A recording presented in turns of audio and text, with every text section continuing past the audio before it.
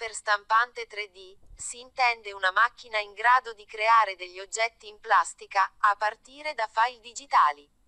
Le stampanti srotolano da una bobina un filamento plastico, deponendo uno sull'altro strati di plastica fusa, seguendo un percorso tracciato da un progetto digitale.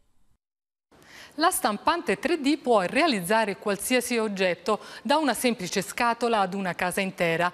Oggi gli scienziati usano la stampante 3D per realizzare anche parti del corpo umano. Di che cosa parliamo? Della mano bionica.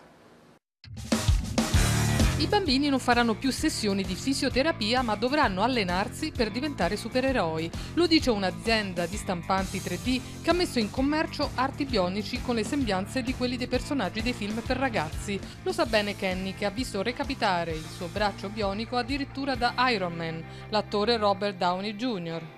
Of robotic technologies. L'idea di far indossare ai più piccoli protesi dal look dei loro beniamini è venuta ai genitori, insegnanti, ingegneri informatici, tutti accomunati dalla voglia di rendere la vita di questi bambini più leggera, perché indossare una mano di un supereroe fa sentire speciali, non diversi. Tutto ciò non sarebbe possibile senza la stampante 3D, capace di realizzare qualsiasi oggetto su misura, come i dispositivi disegnati per sostituire parte del corpo umano. Gli scienziati alcune volte lavorano con i designer perché magari vogliono aiutare, no? in questo caso abbiamo visto i bambini. Uno degli aspetti fondamentali per chi costruisce protesi è l'accettabilità da parte del, dell'utilizzatore delle protesi e per i bambini in particolare la protesi deve essere piacevole, deve essere leggera, deve essere facilmente utilizzabile. Siamo qui per parlare di una protesi molto sofisticata che è la mano bionica. Quella italiana compie 10 anni. A che punto siamo arrivati?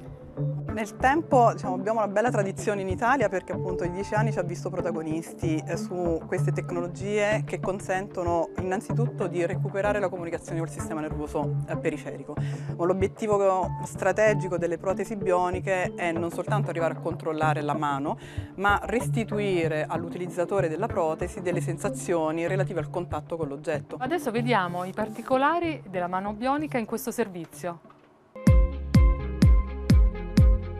Medici, ingegneri, informatici e scienziati di tutto il mondo lavorano da anni su progetti mirati alla realizzazione di una mano bionica.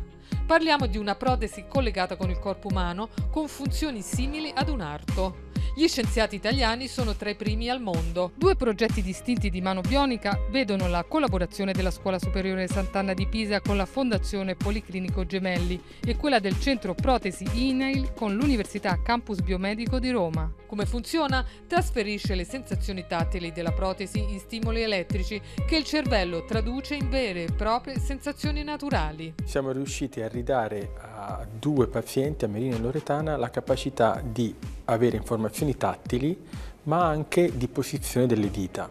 Quando noi prendiamo un oggetto è importante, molto importante sapere se stiamo pigiando di più o di meno, quindi la parte tattile, ma è anche importante capire dove la mano è posizionata per poter cambiare il tipo di presa e ottimizzare la manipolazione.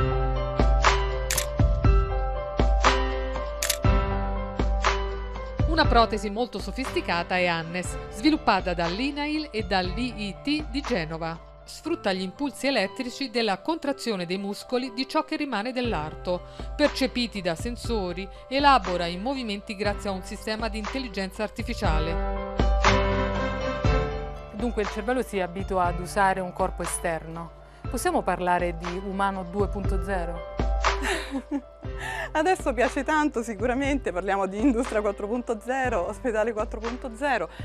Volendo sì, noi cioè, parliamo sicuramente in genere di sistemi ibridi, in cui c'è una parte naturale e una parte artificiale. L'obiettivo verso il quale ci muoviamo è integrare sempre di più la parte artificiale nella parte umana per rendere il tutto sicuramente integrato e funzionante come un sistema naturale appieno.